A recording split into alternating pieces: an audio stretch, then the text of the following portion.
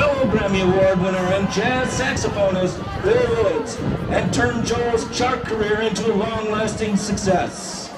Another top 10 hit from Billy Joel's iconic The Stranger album, we conclude with Just the Way You Are.